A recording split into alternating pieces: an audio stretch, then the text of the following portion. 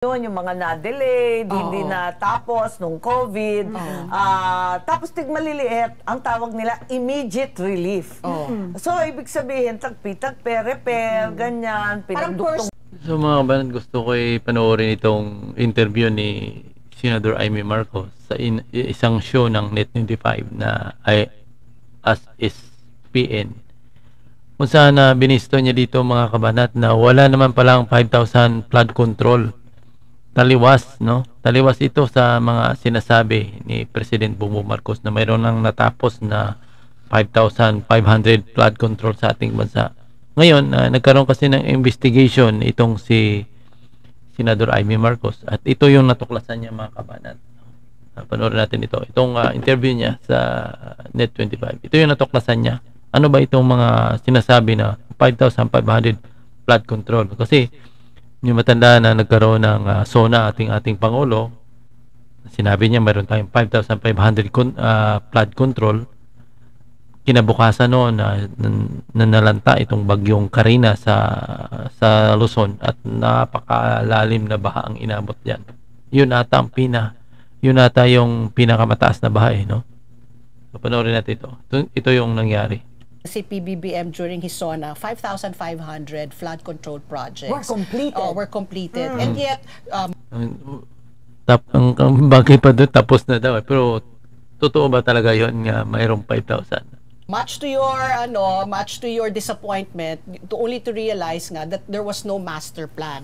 So Yeah. what were tho- what was that 5,500 flood control projects based on your investigation yesterday? Well, kahapon, naging maliwanag na yung 5,500, yung mga dati pa yon. At saka tagpi-tagpi lang yun, yung mga na-delayed, hindi na tapos nung COVID.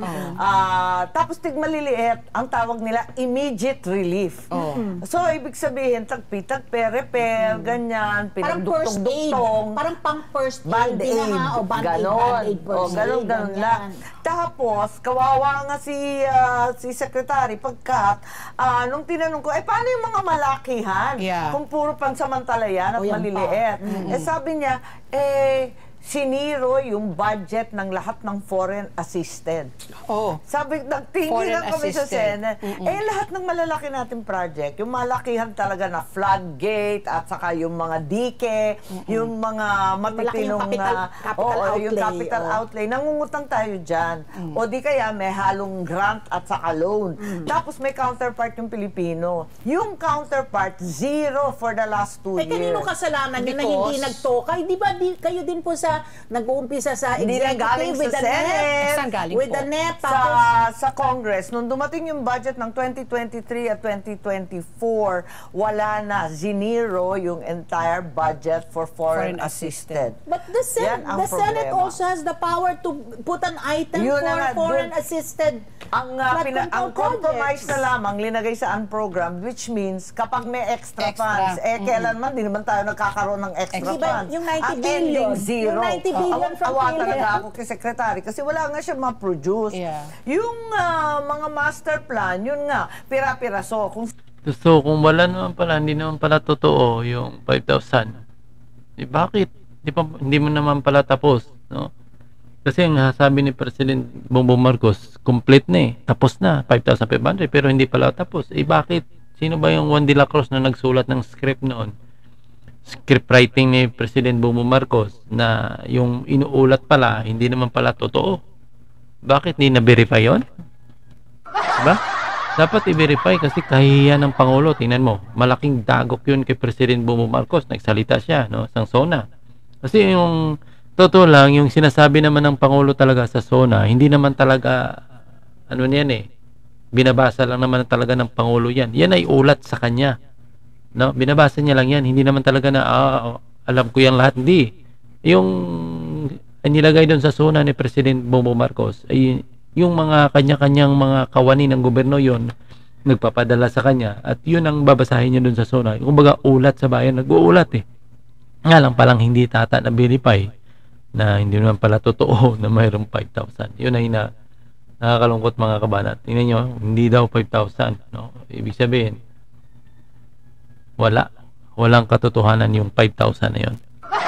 O, ito. Sino masigasig na mayor or governor, meron siyang master plan tapos ipupursige ng mga congressman para mapondahan. Pero yung iba, no rhyme or reason eh. Kasi kung ano lang maisip ng local engineer, kung sino yung, ah, yung provincial engineer, eh syempre limitado rin ang Yeah. pondo, ri- limitado rin yung Very pagpaplano. micro. It's Very not a micro. macro Oo. approach, no? Yeah, tsaka Oo. Filipino style, tingi-tingi, ever. Oo. Ngayon. Kailan lang binabanggit namin na nung, nung panahon daw ni ah, ni, ni Pinoy, no Oo. administration, Oo. meron daw master plan na for flood. Well, ang What to totoo, that? May master plan ng Metro Manila 2012 eh. Unang-una, inutos na yan ng Korte Suprema noong 2008. Yung Mandamus ruling na sabi Yes. kailangan i-align Yes. lahat ng Budget. Manila Bay. At nakakatuwa pa eh, yung Korte Suprema, sinabi talaga na maaring mag-swimming sa Manila Bay. Dapat Say ganun ang ano, no? Ganun ang level. Peg. Ang peg niya, Paris Olympic Sen. Ganon.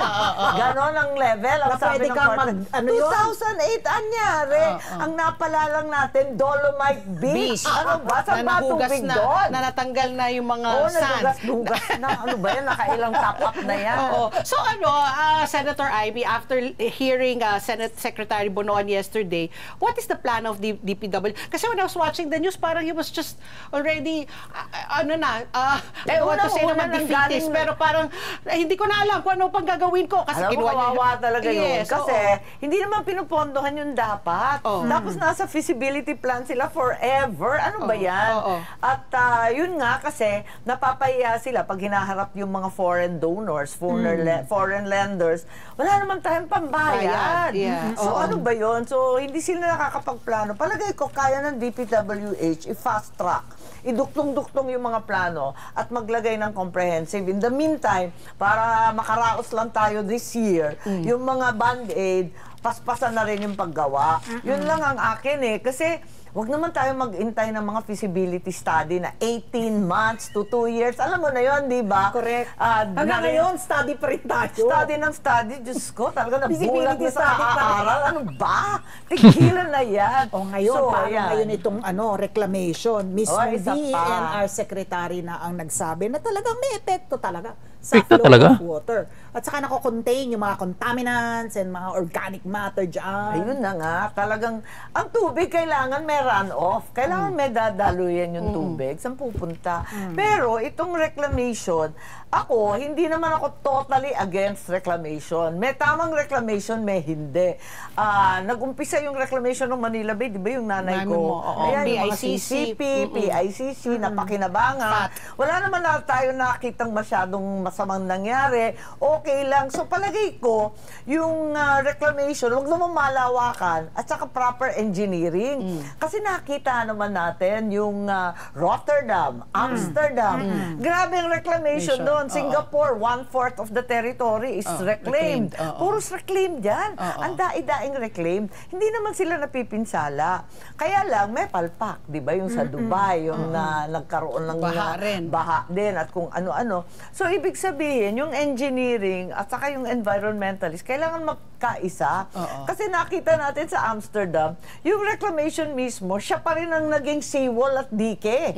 Parang doon ka nagtutour, di ba? Yung Rotterdam nga nakakabaliw, nakatingala ka, yung mga Oo. barko nasa itaas mo. Oo. Kaya, there's a proper way of doing it, pero bakit sino-shortcut sa atin? Oo. So, Or if done right. No, Oo. if done right. So, Oo, done right and siguro limitahan. Limitahan. Kasi parang unregulated, wild na eh. Yeah. Pag ah, lumilipad ka, minsan bumabiyahe sa helicopter. Oo. Nako, ano ba yan? Kaliwat kanan na yung reclamation. Wala ka nang makitang Hindi na dagat. daw Okay. Manila Bay, di ba? Hindi na siya. Manila Sand. Manila Sands. Pero ano, Ang Senator, loka. Ito, kapag... Sayang yung mga coconut palace, Ayan, mga yeah. Sofitel. Lalabo- lulubog. ano? Wala na. Tapos, ay isa pang problema dyan, yung reclamation, ganyan lang kakitid between uh, Coconut Palace or Sofitel, ganyan lang kakitid ang buwang hanggang sa reclaimed area. Saan dadaan yung tubig?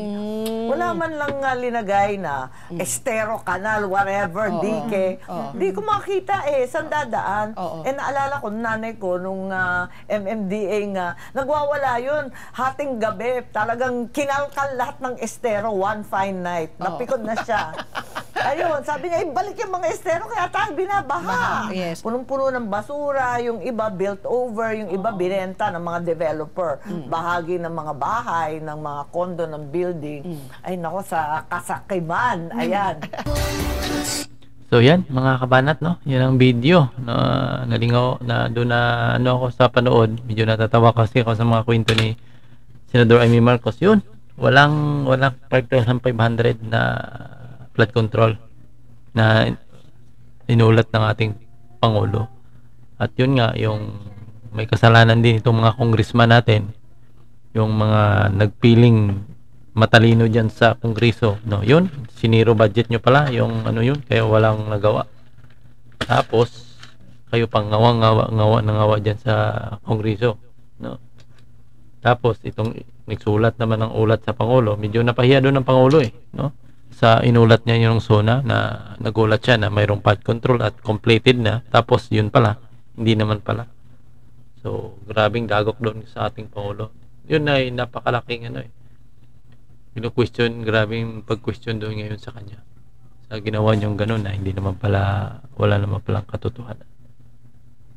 So, yun mga kabanat yung ating video. See you next video mga kabanat.